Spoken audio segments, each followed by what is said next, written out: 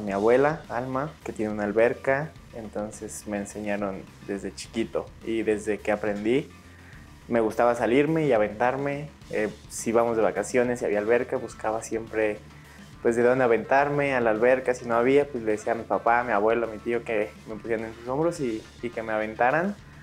Y fue el hermano de mi mamá, mi tío Eric, el que me consiguió la prueba, el que les dijo a mis papás de que pues, esto ya no es normal, creo que hay que meterlo a clavados. Y él me consiguió la prueba en el cenar, justo él estaba con los Paralímpicos de natación, me la consiguió y desde el día uno me, me encantó. De hecho, una de las pruebas que hacen es la de valentía y, y por lo que me cuentan, pues la pasé. Aventarte de un metro y, y o sea, yo no me acuerdo mucho, pero lo que cuentan es que me subí, que les pregunté, ¿y cómo me aviento? Y ellos, no, normal, un parado. Y yo, no, díganme cómo. Y ya, no, lo que quieras. Y ya, hice un mortal. y de repente me dijeron, a ver, ahora de tres metros. Y ya, pues me subí yo emocionado. Y que les volví a decir, ¿y cómo me aviento? No, un parado. No, díganme cómo. Y ellos, no, como quieras. Y que me aventé otro mortal y que, o sea, como para ver si, si era valiente, me dijeron, a ver, ahora de 5 metros. No, a mí me brillaron los ojos, ya iba corriendo y ya me agarraron y me dijeron, no, ya, así está bien. Entonces, desde, desde ahí.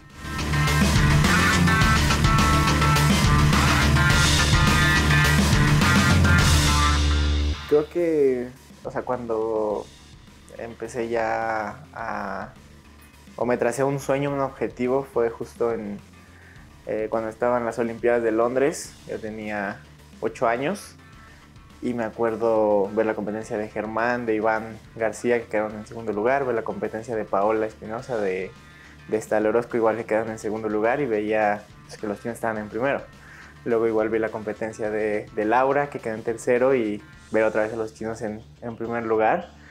Y, y desde ahí mi sueño empezó de, quiero ser el, el primero mexicano en ganarle a los chinos en, en Juegos Olímpicos y, y, creo que, o sea, ahí empezó ese sueño, pero creo que cuando dejó de, ya dejé de ser un hobby a, ahora sí a ser un, como un atleta de rendimiento, fue cuando me fui a vivir a, a Guadalajara, yo solito. Creo que pues que me gustaba mucho, o sea que de verdad es, es, mi pasión hasta la fecha, obviamente lo hago porque me gusta y porque me apasiona. Creo que desde siempre, siempre estuvo esa pasión y ese amor a, a este deporte. Bueno, yo me fui a Guadalajara por mi entrenador que tenía en ese momento, Dair Mata. Este, con él estuve, ahora sí que se puede decir que mi infantil y parte de, de, de juvenil. Y creo que él fue el que me inculcó como varias cosas en el ámbito deportivo. Este, él después le llegó una oferta de irse a Canadá. La idea era irme con él. Y ahora sí que por igual el destino, las cosas no se dieron. Me quedé aquí este, en, en México. Me regresé de Guadalajara. Ya este, aquí a Ciudad de México con mis papás. Y llegué con Machín. Llegué con Machín y creo que igual este, a la par llegaron, o sea, ya conforme iba creciendo, ofertas de este, de irme a estudiar a Estados Unidos, pero creo que para mi sueño y para lo que tengo en mente es, es estar entrenando con ella. O sea, creo que no hay, no hay forma de, de conseguir lo que quiero, sino es ahora sí que con su trabajo y con su exigencia y ahora sí que, que de su mano.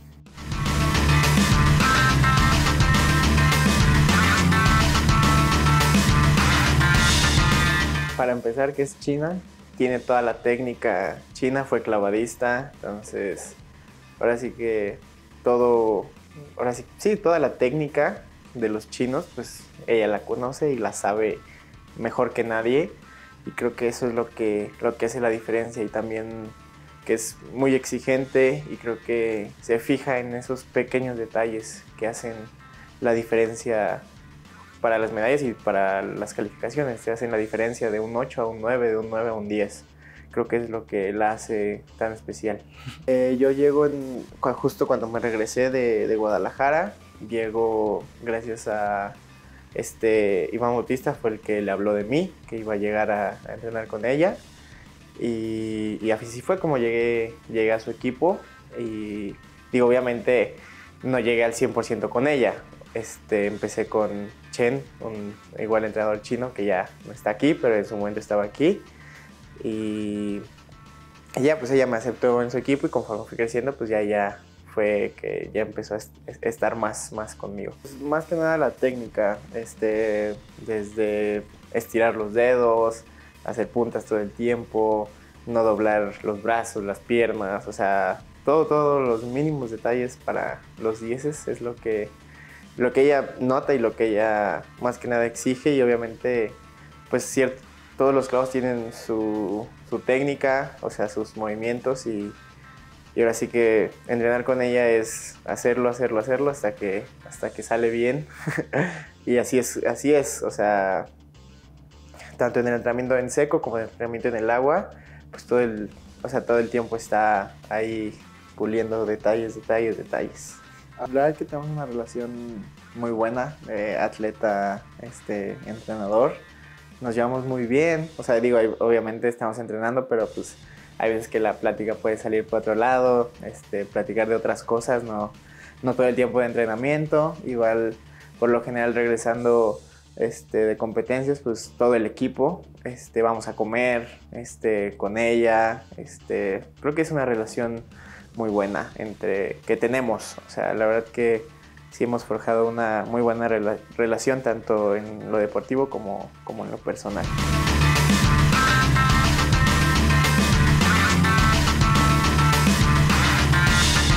Yo creo que lo que más me dejó es el saber competir creo que él me enseñó esa parte de tener ese carácter de, ser competitivo, de entregarlo todo hasta el último clavado. Este, obviamente me enseñó clavados, este, pero sí, obviamente la técnica a lo mejor no era la mejor, pero me enseñó este, pues los clavados hacia adelante, hacia enfrente, hacia atrás, todo lo que es giros. Pero creo que lo que más me, dejó es ese carácter competitivo y luchar siempre hasta el final.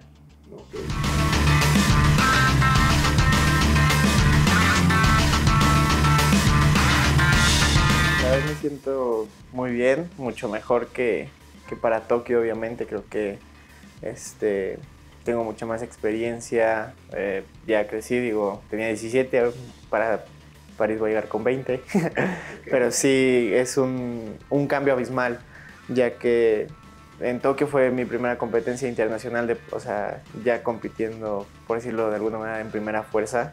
Este sí fue, fue un mundo de experiencias nuevas en ese momento. Y creo que ahorita esa experiencia en Tokio me va a servir bastante. Y toda la experiencia que he acumulado tanto en, los mundiales, en panamericanos, en, en, las copas del mundo, creo que todo eh, me ha ayudado a crecer tanto deportivamente como este, como mentalmente. Y creo que llego bien, llego, este, no sé si, si en mi mejor manera, o sea, mi mejor forma física, este, hablando de la edad, porque por lo general el pico de rendimiento se llega como a los 25 años, pero creo que para mis 20 voy a estar mejor que nunca.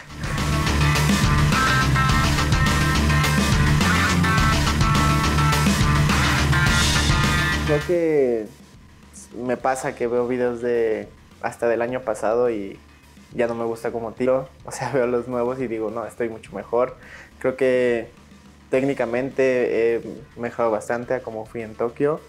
Este, en Tokio fue un, este, por la pandemia fue totalmente diferente y también este ciclo pues fue más corto por lo mismo. Entonces creo que este, en este ha sido un poco más corto, pero creo que he tenido el tiempo este, pues, para seguir entrenando, mejorando. Tuve una operación después de, de Tokio, este, me recuperé y regresé con, siendo subcampeón mundial. Entonces, no sé, creo que, creo que han sido ciclos muy diferentes, pero los dos los he tomado de la mejor forma.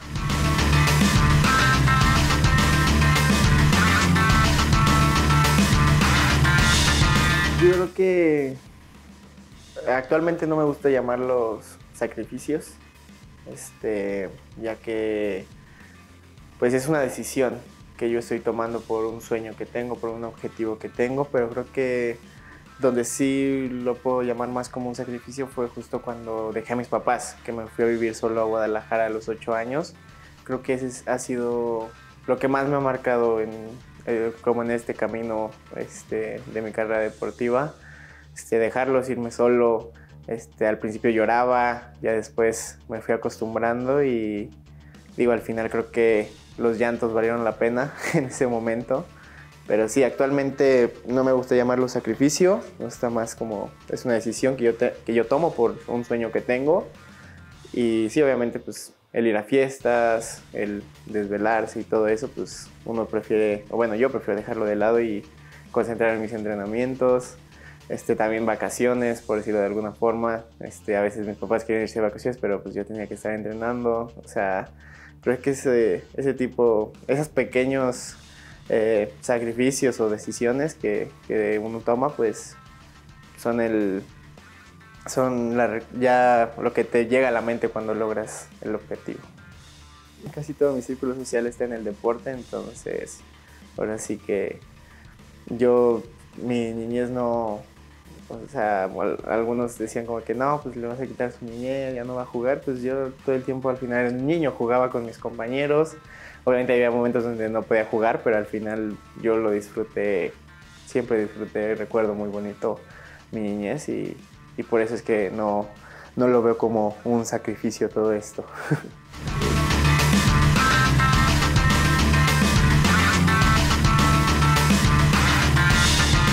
sé, creo que pasarían muchas cosas por mi mente en ese momento. Yo creo que al momento de que me coloquen la medalla que, que estoy seguro que así va a ser. Van a pasar muchos miles de emociones y sentimientos que yo que no va a poder ni describir, ni ahorita te los podré describir, ni en ese momento poder describirlos, pero obviamente esa medalla sería para mi familia y toda la gente que ha estado ahí desde el día uno, que siempre confió, mi primer entrenador, Machín obviamente, y todo, todo, todo, toda la gente, amigos, este, mi pareja, o sea, creo que se la dedicaría a todos, pero más que nada a mi familia, que es la que apoyó el sueño desde el día uno.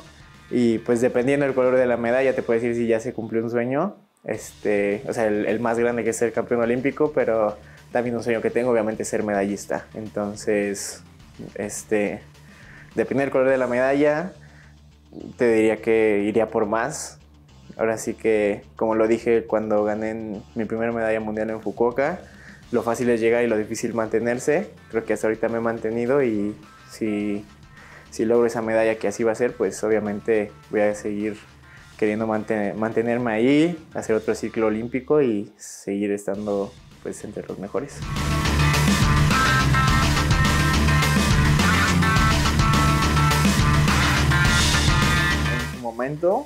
Este, obviamente lo, llegaron a hacer tanto Germán Sánchez como Iván García. Este, conforme fui creciendo, pues ya fui entrando más este, en el mundo de los clavados, viendo más clavadistas, más competidores. Este, uno que, admiro mucho es David Budaya, que fue campeón olímpico en Londres. Yo no vi esa competencia cuando estaba chiquito, pero ya después sí la vi. Y es, es igual un, clavadista que, que, admiro tanto en lo deportivo como, como en lo personal. Este, tuve el gusto de, conocerlo y, no sé, y creo que en lo deportivo los chinos, o sea, son el modelo a seguir, o sea, son los que si quiero ver la técnica, si quiero ver cómo mejorar este, yo mis clavados, pues tengo que verlos a ellos.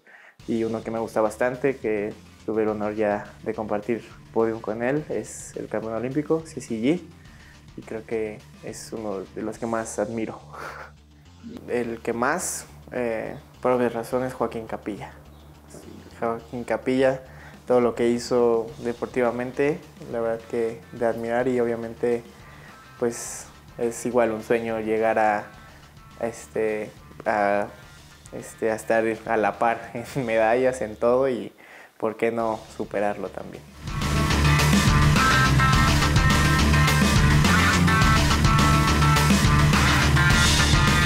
No sé, eh, yo creo que en 15 años no va a haber eh, que cumplí todos mis sueños que tenía en el deporte y, disfrutando de todo lo que logré. Este, yo creo que ya voy a poner mi, taquería, quiero poner una taquería ya cuando me retire. Este, sobre ser entrenador o seguir los pasos de, de Rommel, de Ana Gabriela, la verdad que no, no sabría decirte. De chiquito quería ser entrenador, ahorita este, no sé, ya lo dejaré, lo dejaré al destino. Eh, pero, pero yo creo que sí voy a seguir este, metido en el deporte, este, ayudando y espero haber dejado este, una huella más que de medallas, sino de que luchan por sus sueños. Que las nuevas generaciones, tanto eh, bueno, enclavados, pues que, digan yo quiero ser como Osmar y, o mejor que Osmar. Y, y ser una inspiración también para este, otros atletas de otros deportes que igual este, me vean y digan, este, no, pues, este, es, mi inspiración y quiero llegar a, ser como él en, su deporte o también en los clavados, creo que eso sería lo que más me llenaría, más que haber dejado medallas, sino dejar esa, esa inspiración en más atletas y que luchen siempre por sus sueños.